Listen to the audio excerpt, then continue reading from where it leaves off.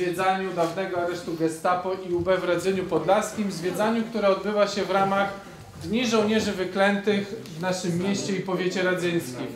E, Bardzo Wam od razu dziękuję, że odpowiedzieliście pozytywnie na nasz apel. E, I muszę Wam powiedzieć, że mm, jesteście świadkami e, historycznego wydarzenia, bo praktycznie jako jedni z pierwszych możecie zobaczyć to, co znajduje się w tym budynku. A tak jak już wspomniałem, znajdujemy się w budynku dawnego aresztu Gestapo i UB w Radzeniu Podlaskim. I tak, w czasie II wojny światowej, urzędowało tutaj Gestapo. Tutaj był, znajdował się areszt. Akurat w tych pomieszczeniach, w których się znajdujemy, odbywały, była to, to była taka część administracyjna, jak również w budynku, który znajduje się tam przy ulicy e, Warszawskiej, gdzie jeszcze niedawno mieś- mieściła się e, komenda policji. To były takie pomieszczenia administracyjne. Tam w korytarzu, w kolejnych pomieszczeniach odbywały się przesłuchania więzionych tutaj osób, a z kolei w piwnicach oni byli przetrzymywani. I w czasie II wojny światowej urzędowało tutaj Gestapo. E, W momencie, kiedy skończyła się wojna, 21 lipca 1945 roku Niemcy opuścili Radzyń i dosłownie dwa dni później już w tym miejscu zainstalowani byli komuniści, którzy, jak dobrze wiecie, e, utrwalali władzę ludową w naszym, w naszym kraju. E, Znajdujemy się na osiedlu Bulwary. To osiedle zostało wybudowane w latach 70. i w momencie, kiedy wesz, wszedł tutaj ciężki sprzęt, koparki, e, odkryte zostały szczątki ludzkie w niewyobrażalnej ilości.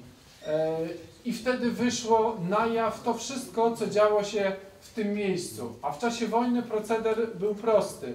Niemcy przytrzymywane tu osoby albo po przesłuchaniach rozstrzeliwali, co działo się tutaj na terenie ogródków mieszczanskich, bo tu były ogródki i oni tutaj byli, sami sobie kopali doły, albo te doły kopali Żydzi, e, odbywały się egzekucje.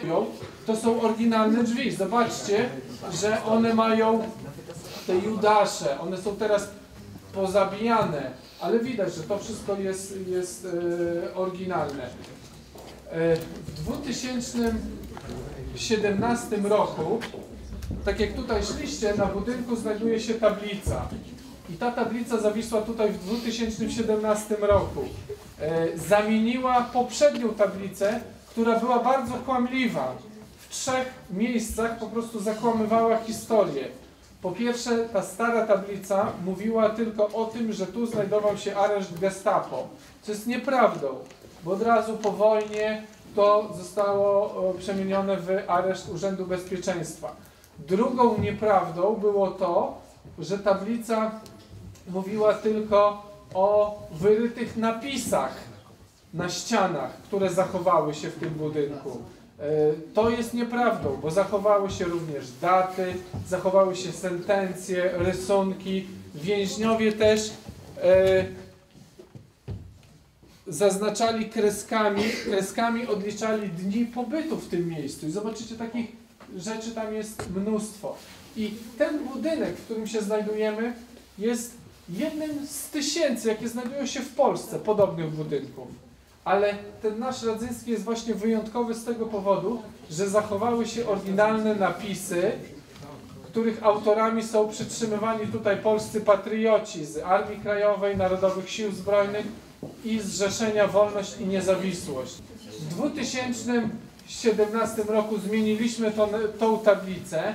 Rok później w ramach Nocy Muzeów otworzyliśmy po raz pierwszy dla szerszej, grupy osób celę numer 6, celę, w której znajduje się najwięcej tych napisów. W tym momencie zainaugurowany został proces tworzenia Muzeum Żołnierzy Wyklętych. Muzeum, które, którego celem będzie e, zachowanie dla potomnych tych napisów, a także jakby spersonalizowanie ich. Chcemy docierać do osób, które będą będą w stanie powiedzieć nam, coś więcej na temat tych napisów.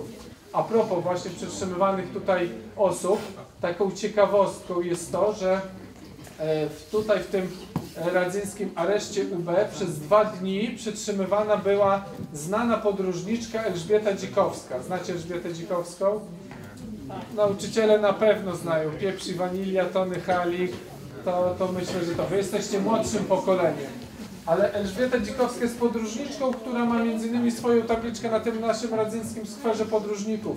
I ona w swojej autobiografii, która została wydana w 2013 roku, napisała coś takiego, że w czasach, gdy chodziła do liceum, a urodziła się w okolicach Międzyrzeca Podlaskiego, niedaleko Radzenia, e, koledzy zwerbowali ją do takiej antykomunistycznej organizacji pod, nazwą, pod nazwą Związek Ewolucjonistów Wolności. Ta organizacja roznosiła tylko ulotki, ale UB rozpracowało organizację i ich aresztowało. I właśnie w następstwie tych aresztowań Elżbieta Dzikowska trafiła bodajże na dzień do Międzyrzeca Podlaskiego, dwa dni siedziała w Białej Podlaskiej, dwa dni właśnie tutaj w tym areszcie i później trafiła na Zamek Lubelski, gdzie była przetrzymywana przez pół roku.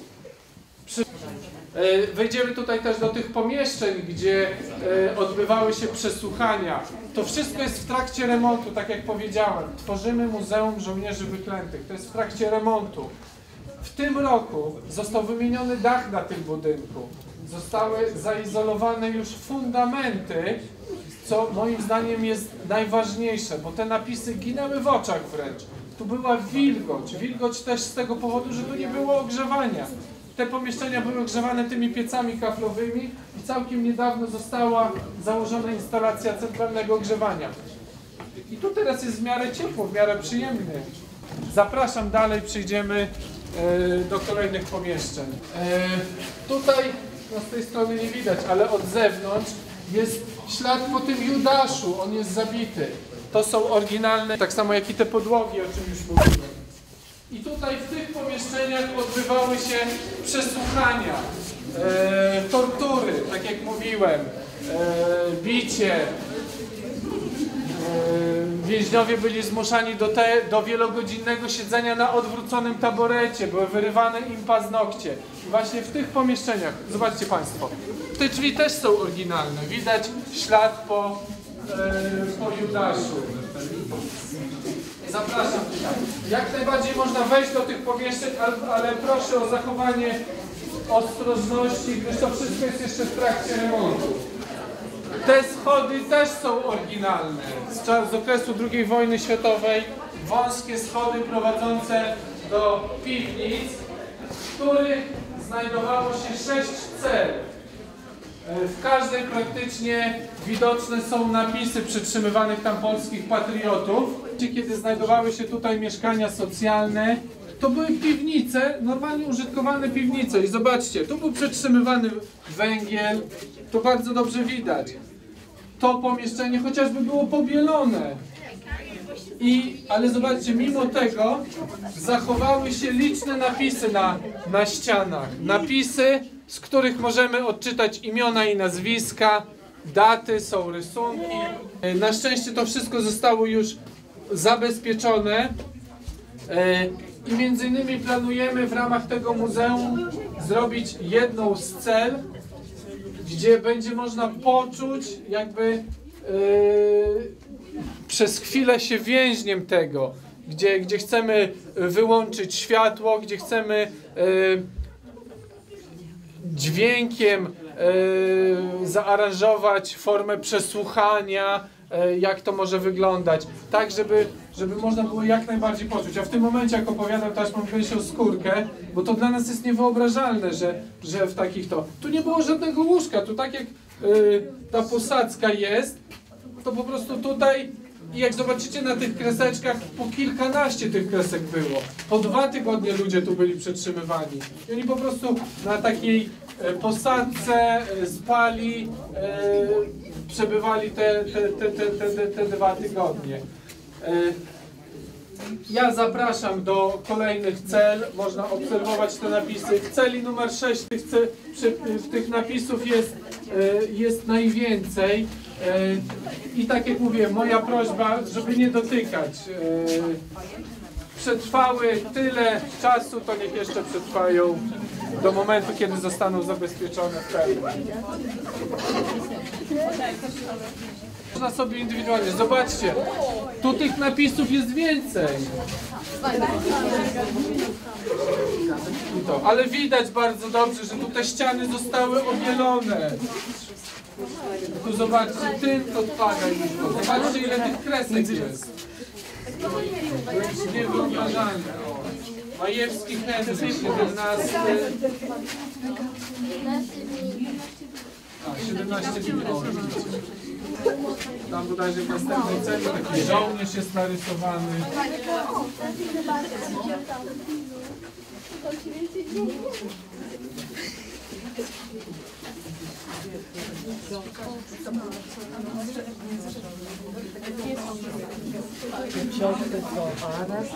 I tutaj zauważcie, te drzwi są też oryginalne, gdzie jest Judasz zamykany od zewnątrz, jak to w celach było. Więcej i to widać. O, tutaj o ten żołnierz jest fajny. Się fajnie. Tutaj zobaczcie ten żołnierz, co jest narysowany. Tutaj widać jak ta wilgoć. Dosłownie woda spływała z tych okien. I węgiel był przytrzymywany.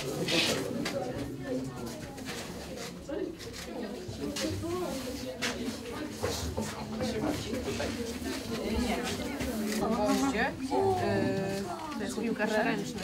Nie widzę, że mnie na ścianach podpisy więźniów, bo e, jest dużo więcej elementów.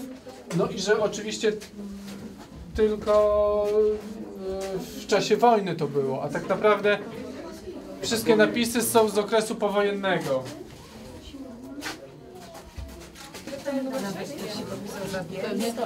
Tutaj jak się wyjdzie z tego pomieszczenia po lewej stronie znajdował się karcer. To jest cela numer 6? Tak, to jest ta cela numer 6. Zobaczcie, tutaj jest najwięcej tych napisów. Z mojej strony to wszystko. Ja Wam bardzo serdecznie dziękuję, że zechcieliście dzisiaj tutaj przyjść. Jak najbardziej możecie jeszcze sobie pochodzić, poobserwować, pooglądać. Mam nadzieję, że już niedługo powstanie tutaj Muzeum z Prawdziwego Zdarzenia i każdy w odpowiednim dla siebie momencie będzie mógł tutaj przyjść i zapoznać się z historią tego miejsca. Bardzo serdecznie jeszcze raz dziękuję wszystkim.